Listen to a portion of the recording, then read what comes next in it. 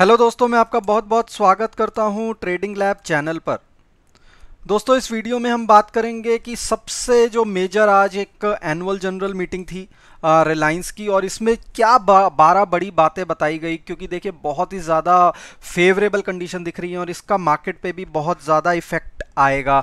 और मार्केट जो है बहुत अच्छा बिहेव करेगी क्योंकि इससे फॉरेन डायरेक्ट इन्वेस्टमेंट की बात हो रही है और जो रिलायंस है उसकी वेटेज जो है हमारे इंडेक्स में बहुत ज़्यादा है और रिलायंस जो है एक अपने आप में इतना एक बड़ा नाम है और प्रॉफिटेबल भी है। उसकी आज एनुअल जनरल मीटिंग थी और उसमें कौन सी बारह बड़ी बातें डिस्कस की गई जिससे कि जिससे कि आने वाला मार्केट का जो रुख तय होगा और रिलायंस के स्टॉक का भी हम इसमें एनालिसिस करेंगे कि कैसा रिलायंस का स्टॉक कल बिहेव कर सकता है। और, देखिए, सबसे पहली जो बात आ रही है रिलायंस की वो आ रही है आरआईएल ने, अपना आरआईएल में 20 परसेंट का स्टेक जो है वो सेल कर दिया है। ऑयल टू केमिकल का जो बिज़नेस है, उसको वर्ल्ड की लार्जेस्ट ऑयल कंपनी जो कि सऊदी अरेबिया की सऊदी आरएम को है, उसको सेल कर दिया है और इससे जो है बहुत ही ज़्यादा फेवरेबल कंडीशन बनेगी क्योंकि देखिए, अभी बजट में जब से अनाउंसमेंट्स आई थी, उसके बाद से हमारे निफ्टी में करेक्शन इतनी ज़्यादा आई कि बारह हज़ार एक सौ दो सौ के आसपास से निफ्टी सीधा दस हज़ार आठ सौ के आसपास आ गया और सेंसेक्स कहीं तीन हज़ार से चार हज़ार पॉइंट के बीच में लुढ़क गया। क्योंकि देखिए, उसमें फॉरेन पोर्टफोलियो इन्वेस्टर्स के ऊपर एडिशनल टैक्स जो सरकार ने लगाया था, उसके ऊपर पर अभी भी कोई आ, सरकार का रुख साफ़ नहीं हुआ है। जैसा कि मैंने आपको कल वीडियोस में अपने बताया था कि हाँ इस पर कुछ रूलिंग आ सकती है लेकिन अभी तक ऐसा कुछ भी नहीं आया है। लेकिन ये बड़ी खबर आ रही है कि रिलायंस इसके रिलायंस ने अपना जो स्टेक सेल किया है इससे जो है अंदाजन एक लाख करोड़ रुपया फॉरेन डायरेक्ट इन्वेस्टमेंट जो एफडीआई की फॉर्म में भारत में आएगा और ये वाला जो पैसा है ये आ, ये आगे कैसे लगता है आगे एक्सपेंशन के जो क्या प्लान्स होंगे रिलायंस के उस पर डिपेंड करेगा। और देखिए एजीएम में उन्होंने बेसिकली अपनी हाइलाइट्स बताई हैं। दूसरी चीज़ रिलायंस का जो रिटेल है रिलायंस जो रिलायंस ट्रेंड्स हो गया और रिलायंस का जो रिटेल का बिज़नेस है, उसने ए 1.3 लाख करोड़ का रेवेन्यू लास्ट ईयर क्रॉस कर दिया। ये बहुत बड़ी रकम होती है और रिलायंस रिटेल जो है मुकेश अंबानी ने बताया कि ये रिलायंस जो रिटेल है, ये टॉप फाइव रिटेल फर्म्स में आने लग गया वर्ल्ड की। तो ये बहुत बड़ी चीज़ है रिलायंस रिटेल के लिए।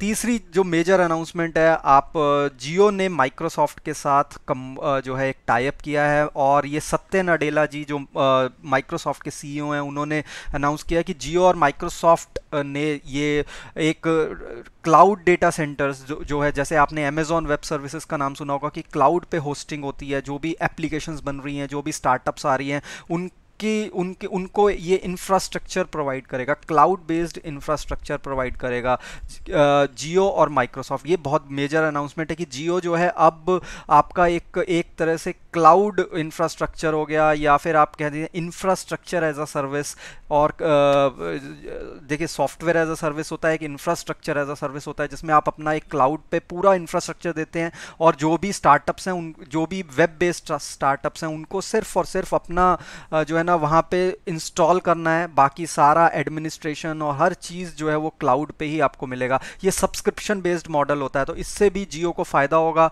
क्योंकि स्टार्टअप्स बहुत ज़्यादा उभर रही हैं और जियो और माइक्रोसॉफ्ट का कॉम्बिनेशन हो गया और माइक्रोसॉफ्ट का जो एज्यूर प्लेटफॉर्म है, अगर आप इसको और गूगल पे सर्च कीजिएगा, थोड़ी रिसर्च कीजिए रिसर्च करने से नॉलेज अपडेट होती है। एज्यूर जो प्लेटफॉर्म है माइक्रोसॉफ्ट का, वो क्लाउड बेस्ड प्लेटफॉर्म है, उसको जियो जियो के साथ कंबाइन करके देखा जाएगा। तो फोर्थ जो आ रही है कि जियो जो है स्टार्टअप्स को पंद्रह सौ रुपये पर मंथ के सब्सक्रिप्शन मॉडल पे ये चीज़ देगा और जियो की कनेक्टिविटी और ऐप जो है वो स्टार्टअप्स को पंद्रह सौ रुपये मात्र पंद्रह सौ रुपये पर मंथ पे मिलेगा। देखिए, उन रिलायंस का मॉडल यही है कि वो बहुत ही लो कॉस्ट शुरू में लेके आता है और उसके बाद वो सब्सक्राइबर्स बनाता है और उसके बाद वो वहाँ पे जो है ना रेट बढ़ाता है। रिलायंस जियो जब लॉन्च हुआ, तब भी यही हुआ था कि उन्होंने फ्री इतना दिया कि सबने जो है अपना आधार कार्ड देखे जियो बुक करा रहे हैं। तो आज की डेट में जियो के सब्सक्राइबर्स बहुत ही ज़्यादा हो गए हैं। तो ये एक बड़ी न्यूज़ है। फिफ्थ जो मेन पॉइंट पॉइंट इसमें बताया गया वो है जियो और माइक्रोसॉफ्ट जो है अब माइक्रोसॉफ्ट 365 जो माइक्रोसॉफ्ट 365 सर्विसेज़ हैं, वो ऑफ़र करेंगे। इसके बारे में एडिशनल नहीं बताया गया है, लेकिन जियो जो है धीरे धीरे आपका सॉफ्टवेयर सर्विसेज़ में भी थोड़ा अपना पैर जमाने की कोशिश कर रहा है। उसके बाद जियो फाइबर, ये बहुत इंपॉर्टेंट है। जियो फाइबर की वेलकम ऑफ़र लॉन्च की गई है, जिसमें अनाउंस किया गया कि HD और 4K टेलीविज़न सेट और 4K सेट टॉप बॉक्स जो है जियो फॉर एक एनुअल प्लान होगा, उसके साथ मिलेंगे। तो एक तरह से देखिए, जो कंपटीशन है, इसमें हैथवे है, काफ़ी सारी फर्म्स हैं जो प्रोवाइड कर रही हैं डिश टीवी है एक तरह से जियो जो है अब अपने फाइबर, जियो क्या लॉन्च कर रहा है? जियो अभी अपना ब्रॉडबैंड में आ रहा है। तो वो ब्रॉडबैंड के ज़रिए जो है ना ये जो केबल टीवी की मार्केट है और set top box H TV भी उसके साथ साथ रिलायंस अपने एच टीवी भी आपको एक सब्सक्रिप्शन जैसे मोबाइल फ़ोन्स देता था, वैसे ही एच डी भी सब्सक्रिप्शन बेस्ड मॉडल पे देगा। तो वो चाहता है कि आप टीवी भी ना खरीदें टीवी भी उनसे लें और टीवी के ऊपर जो सेट टॉप बॉक्स लग रहा है वो भी उनसे लें, सारा कुछ उनसे लें। उसके बाद देखिए मुकेश अंबानी ने बताया कि सबसे बड़ी चीज़ की ट्रिपल ए की रेटिंग है डोमेस्टिक डेट में, क्योंकि डेट बहुत मेजर रोल प्ले करता है कंपनीज़ के लिए। तो ट्रिपल ए की रेटिंग बहुत अच्छी मानी जाती है और इन्होंने बताया कि five point four lakh crore जो है लास्ट पाँच सालों में कंपनी ने काफ़ी सारे वर्टिकल्स में इन्वेस्ट कराई है। बहुत बड़ी इन्वेस्टमेंट होती है किसी कंपनी के लिए।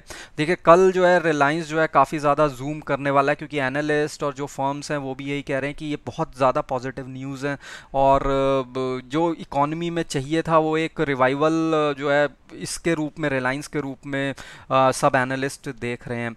उसके बाद दोस्तों, जियो और रिलायंस रिटेल जो है, जियो, रिलायंस जियो और रिलायंस रिटेल की लिस्टिंग जो यहाँ पे इसका आईपीओ प्लान कर रहे हैं Mukesh Ambani next five years में। तो जियो रिलायंस जियो और रिलायंस रिटेल भी आपको ट्रेडिंग के लिए अब थोड़े टाइम बाद जब भी वो अनाउंस करेंगे, तब मिलेगा। ये बहुत अच्छी न्यूज़ है।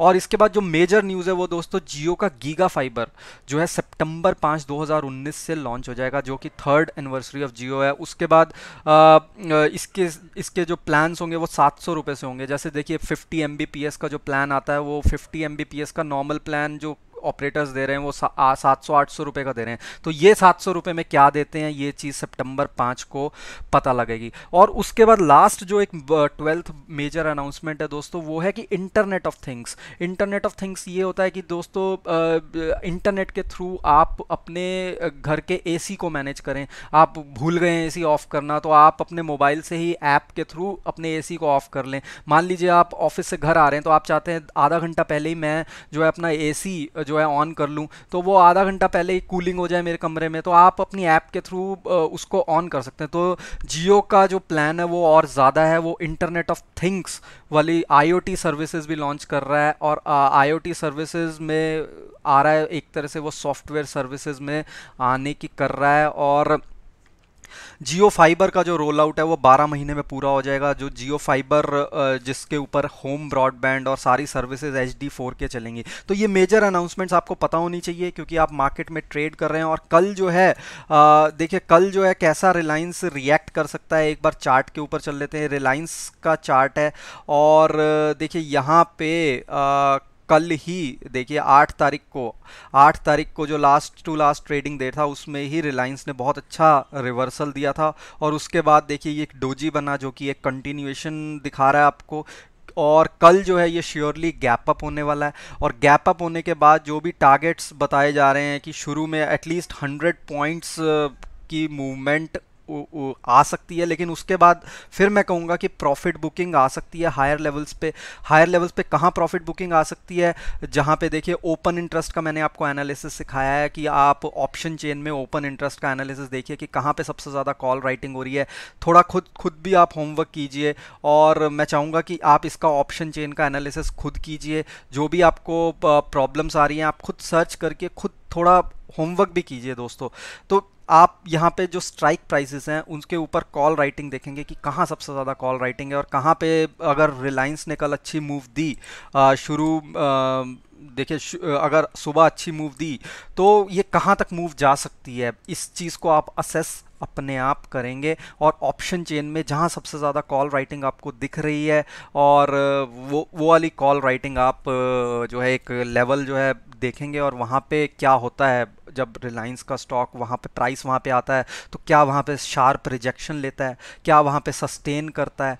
वॉल्यूम्स कैसी आती हैं वहाँ पे? ये सारी चीज़ें मैं आपको इसीलिए बता रहा हूँ कि आप सीखो कि एनालिसिस कैसे किया जाता है दोस्तों। तो दोस्तों, इस वीडियो में मैंने आपको कुछ समरी पॉइंट्स बताए जो रिलायंस की आज एनुअल जनरल मीटिंग हुई थी और रिलायंस के बहुत पूरे प्लान्स हैं कि रिलायंस जो है पूरा धमाल मचाने वाला है और जो है एक ज़बरदस्त मार्केट में एक धमाका टाइप देखने को आपको मिल सकता है। आज मार्केट बंद थी और कल जो है मार्केट ओपन होगी और कल देखते हैं क्या होता है दोस्तों।